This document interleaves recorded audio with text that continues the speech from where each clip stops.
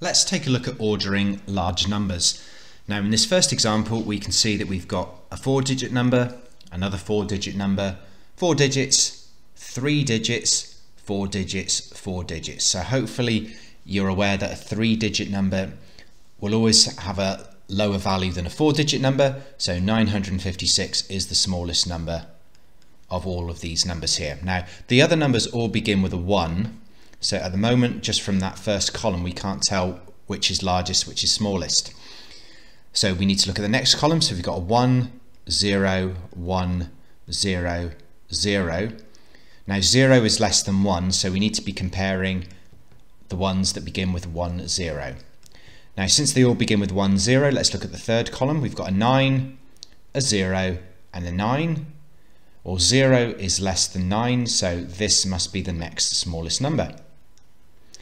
So we're now comparing 1095 and 1090. Both begin with 109, so we need to look at the final digit, which is a 5 and a 0. 0 is less than 5, so 1090 is the next smallest number. 1095 is the next smallest after that. So we're now left with the two numbers that begin with 11, 1159 and 1136. So let's look at the number after the two 11s. We've got a 5, we've got a 3, 3 is less than 5, so it's going to go 1136, 1159.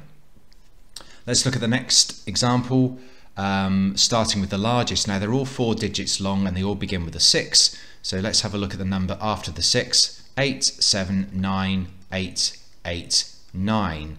Now of 6, 7s and 9s, 9 is the largest, so we need to be comparing 6903 and 6921. Both begin with 6, 9.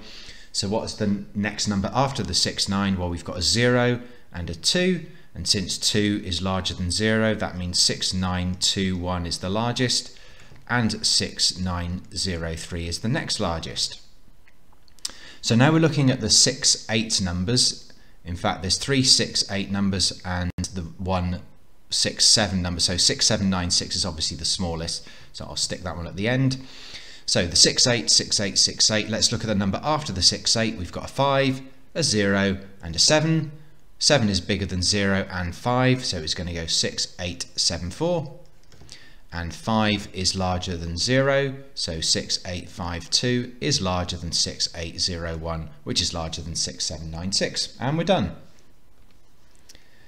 With negative numbers, what I would do is first of all put them in order starting with the smallest as if they were positive numbers. So let's look at these as 67, 47, 18, 3, 56. So the smallest is 3, next smallest is 18, next smallest is 47, next smallest is 56, and the next smallest is 62. So going from um, smallest to largest as positive numbers, it goes 3, 18, 47, 56, 62. So therefore, if they're negative numbers, it's the opposite way around.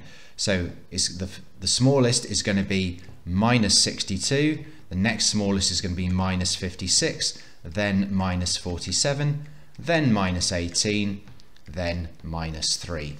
So put them in order as if they were positive numbers, and then reverse that order for negative. So here we want the largest number first. So again, let's just pretend these are positive numbers, 105, 169, 132, 211 and 79. Let's put them in order, 79, um, then what comes next, 105, 132, 169, 211. So if we're putting them in order starting with the largest, we would put them in this order here, 211, 169, 132, 105, 79.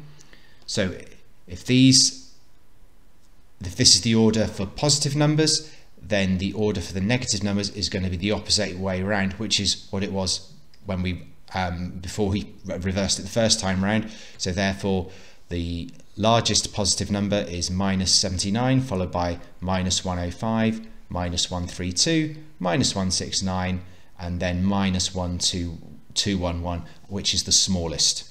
So largest to smallest.